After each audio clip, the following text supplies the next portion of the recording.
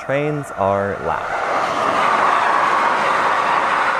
But you know what trains aren't? They're not everywhere. There is not a light rail line or streetcar or weird quasi streetcar that goes in front of every business, that goes down every single quiet neighborhood street, and that interrupts every afternoon walk. I can't say the same thing, however, about cars.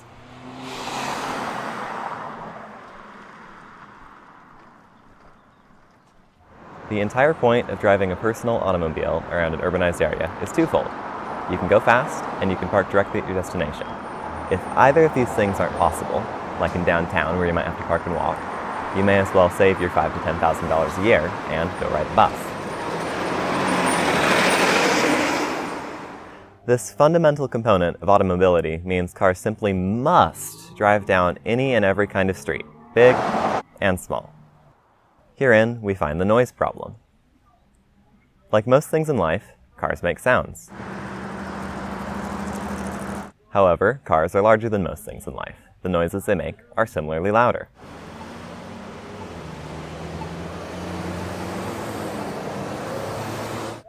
Cars, like their noises, just don't exist on a human scale. Thereby, putting every single person using a street into cars massively increases the amount of noise. And that noise, it's everywhere.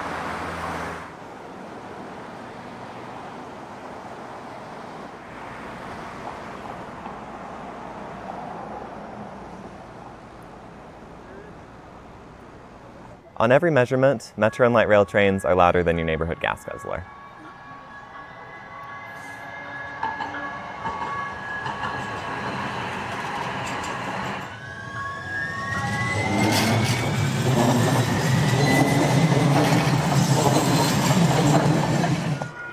So with the obvious evidence to the contrary, why is this video titled, Trains Aren't Loud? It's because they're not everywhere.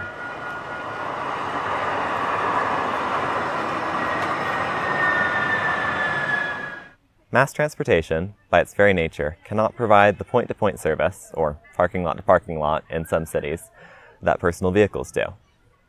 A bus or train must collect riders from a broad area, typically a quarter to half mile radius around stops, who are all traveling in the same general direction or to the same major destination, like a ball game. Thus, transit exists in discrete and spaced out corridors.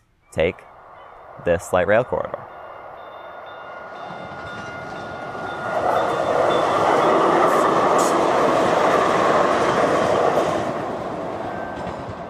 this major bus corridor.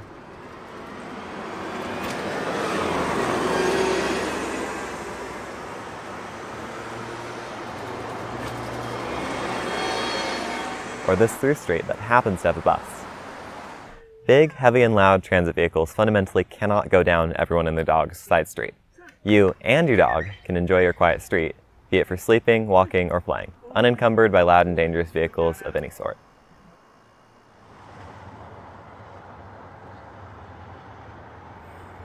For all the good that keeping transit on major corridors does, there are still technological problems that can, in some situations, make transit vehicles excessively loud.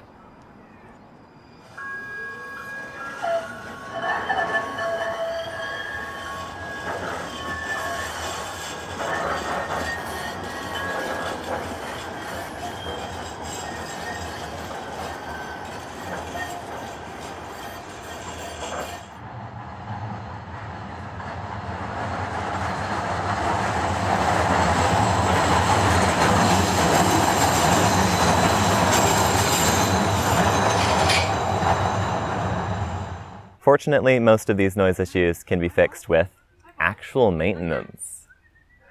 And don't forget, we already have noise fencing, and it's not that hard to put up more.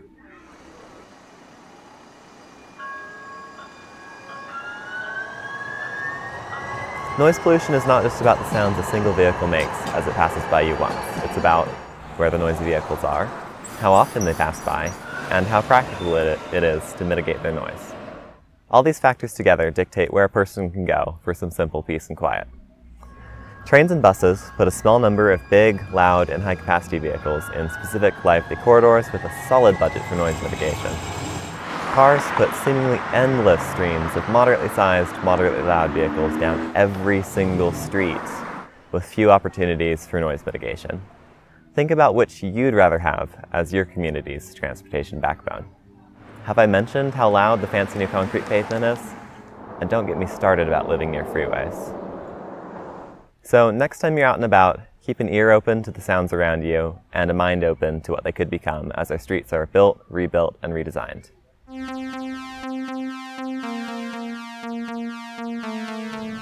Noise pollution is not just about the sounds a single vehicle. Hey look, it's a whole fire truck.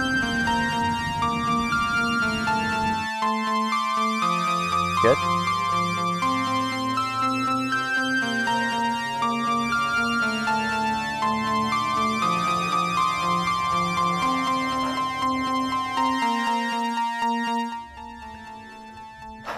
had to carefully pick one of the few places where we could film this voiceover and get good audio. The road noise is too bad at a lot of the other city parks, and apparently it's too bad at this one too, but what you gonna do?